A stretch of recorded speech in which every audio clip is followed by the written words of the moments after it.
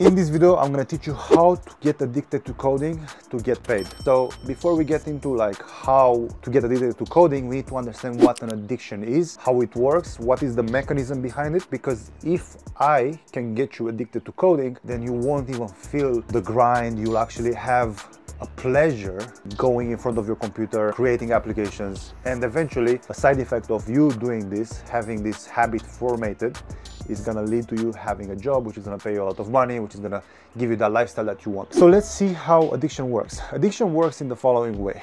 You do something and that thing feels good and your brain releases a chemical called dopamine. Essentially, every single thing that you do in your life is geared towards having that dopamine release. If you are a gamer, you know that whenever you win a game, you feel high, right? You feel like super excited. You want to play another game. Even if you don't win the game, the game is actually designed to give you some points, XP points, to make you addicted still and give you some sort of feeling of progression. Okay, so it doesn't feel like you've wasted your time. You grinded some XP points. In social media, whenever you scroll, you get a new post which is releasing dopamine. So that makes you want to scroll even more. Why do you think we have infinite scrolls instead of the pagination buttons? Because if you realize that you saw a thousand posts in the last two hours, you'll actually stop. But if you have the infinite scroll, that makes you want to scroll more and more and more and more and more. Okay, it gets you addicted to that. Same with food.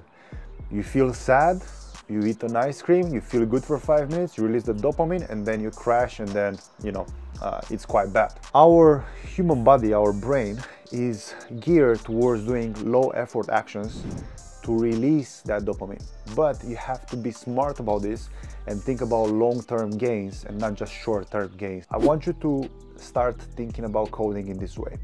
Instead of looking at, I'm learning to code today and I'm gonna get my dream job in six months, nine months, 12 months from now. Well, you won't be able to release the dopamine in those months. The only thing that you want, the only thing that you crave is that job.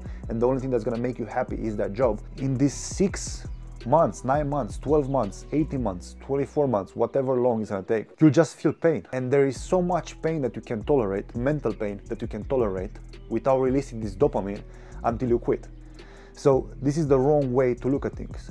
You don't want to look at the big thing and the only thing that's to motivate you is that big job, that big paycheck at the end. All you want to do is to figure out ways to win every single hour, every single day, every single week and every single month. If you just started learning how to code, your main objective is to show up, okay, just showing up. For example, you can show up every single day for 20 minutes. So you have to make the barrier of entry so low that you can do it with no matter what. Learn how to code. Sit in front of your computer for 20 minutes every single day for the first 21 days until you install this habit in your brain.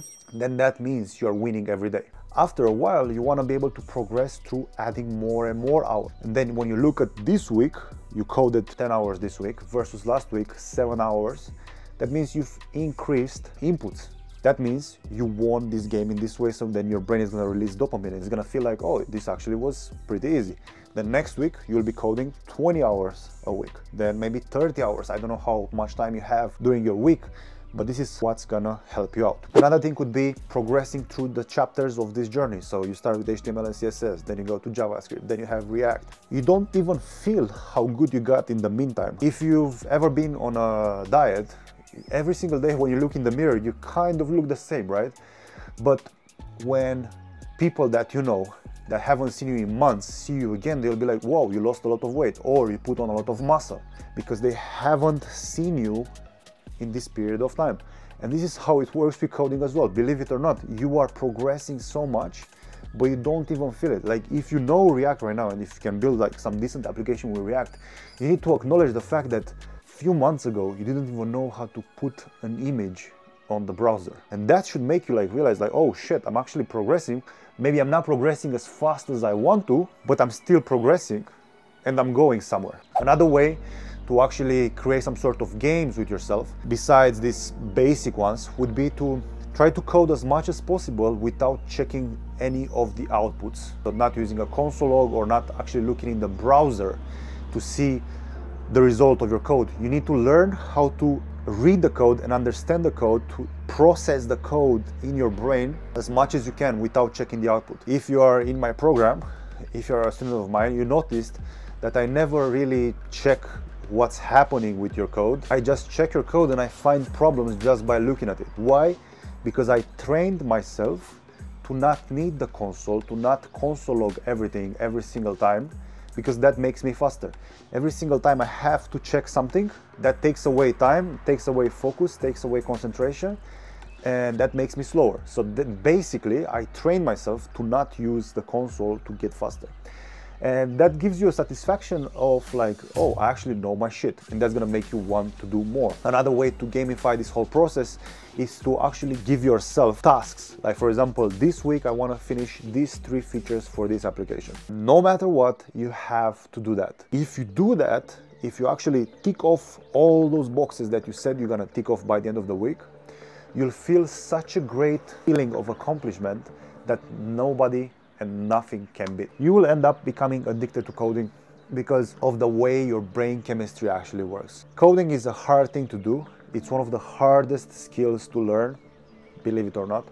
It's probably top three, top five. I know about this and I'm still getting hacked by it, okay? Whenever I try to build a project for myself to solve a specific issue in my business typically, I cannot go to sleep and I code for 16, 18, maybe even 24 hours. I destroy the next two or three days of my life because I, I have to do it. I have to finish the problem that I started. I wasn't born with it, I built it up and you can also do it. If you like this video, like it. If you have anything to add to this, comment and don't forget to subscribe if you want more videos like this. Apply for my mentorship program. That's the first link in the description. You can get more details once you booked. You'll actually see the entire program. You'll see our classroom You'll see our community. There are some courses for free that you can check out. My commitment to you is to get your job ready in nine months or less. And if I fail to deliver that, I'm gonna give you all the money you've invested with me back, plus $5,000 for wasting your time. The reason why I'm so confident in this is because I've invested a lot of time, money, and effort and energy into making it as good as possible, as good as it can be done. So you have no problems whatsoever. The only problem that you have is to actually do the work and show up okay so that's pretty much it i'll see you in the next one peace out